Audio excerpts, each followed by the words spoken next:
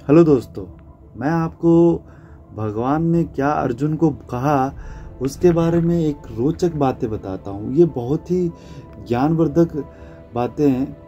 आप अंत तक सुने।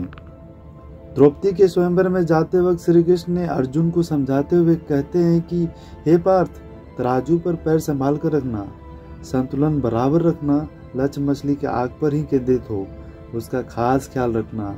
तो अर्जुन ने कहा हे प्रभु, सब कुछ अगर मुझे ही करना है तो फिर आप क्या करोगे? बात भी सही है। सब कुछ अगर अर्जुन को ही करना है तो फिर भगवान क्या करेंगे?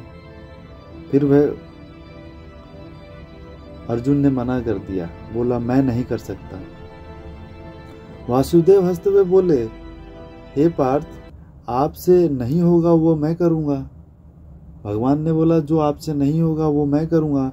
पार्थ ने कहा, प्रभु, ऐसा क्या है जो मैं नहीं कर सकता? अर्जुन ने फिर पूछा। वासुदेव फिर हंसे बोले, जिस अस्थिर, विचलित हजलते हुए पानी में तुम मछली का निशाना साधोगे, उस विचलित पानी को स्थिर मैं रखूँगा।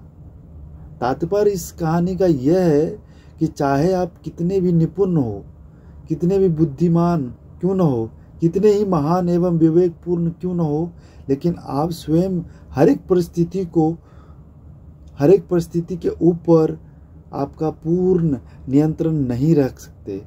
आपका पूरा नियंत्रण नहीं रहता है। आप सिर्फ़ अपना प्रयास कर सकते हो। जो उस सीमा से आगे की बागडोर संभालता है, उसी का नाम है भगवान। उसी को नाम है गॉड सुपर नेचर जो आप पालो। आपका मानने का जो भी है आपका मानने का अवधारणा, आप मानिए। बट इंसान कोशिश पूरी करता है, बाकी आगे का काम ऊपर वाला करता है। थैंक यू अगर आपको अच्छा लगा हो तो प्लीज़ सब्सक्राइब एंड लाइक कर दीजिएगा।